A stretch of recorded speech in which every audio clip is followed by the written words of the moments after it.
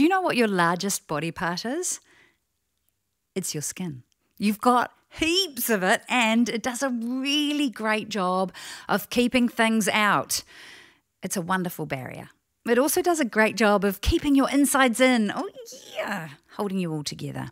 Now, we don't think much about our skin until it does stuff we don't like, like flaking or peeling or erupting. So, you could at this stage of your life start to get pimples, which is awesome if you're into miniature, organic, pus filled, volcano shaped scientific experiments on your face. But most people aren't as into that as I am. Honestly, almost everyone gets pimples. Some people get them worse than others. So, let's point out a couple of things about pimples. They usually start to arrive during puberty, but people can keep getting pimples throughout their whole life. Yes, I still get pimples and I'm in my 40s. You won't just get them on your face necessarily, you can get them on your back or chest or neck or ears or, yeah, pretty much anywhere. And getting pimples is totally normal if annoying. Here's some stuff you can do to help minimise them.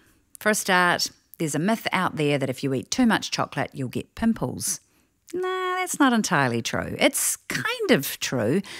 The truth is that if you eat healthy food, you'll be more likely to have healthy skin, the stuff we started talking about at the beginning. Now, think about this you grow an entirely new layer of skin every month. You eat food and your body uses it to grow your skin. That means that every month you shed an entire layer of skin and you do it all the time in little flaky bits. You know how sometimes you're sitting in class and the sun is shining through the window and you can see all that floaty stuff in the air? Yeah, it turns out a large percentage of dust is made out of skin. Nice. Now, where was I? So, when your parents put that green stuff on your plate, which so many kids don't like, why do they keep doing it? Is it because they hate you and are trying to kill you? Are you like, Mom, this is broccoli, why do you hate me? No, they're not trying to kill you. They're actually loving you. They're looking after you and your skin. Here are some really basic things you can do to look after your skin over the next, well, how long? Uh, forever? One, you can wash your face every night before bed. You can wash it after sports or intense exercises. That's also a good idea. You're worth it, and face it, so is your face.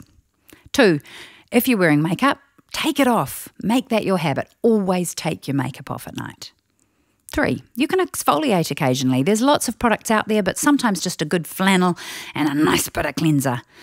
That will help avoid blackheads, which are a result of blocked pores.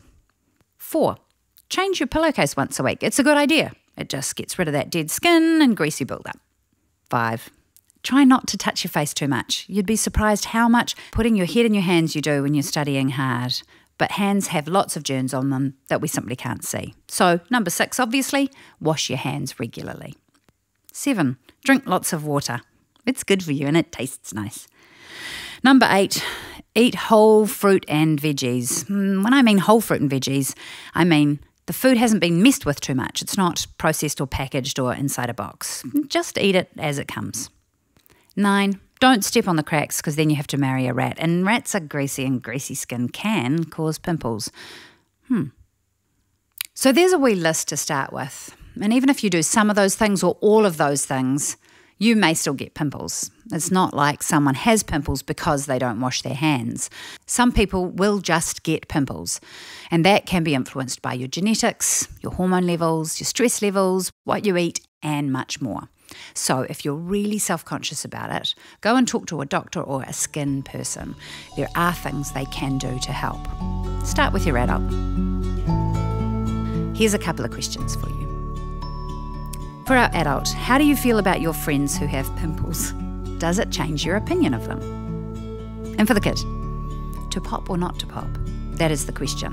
Feel free to swap questions on this one too.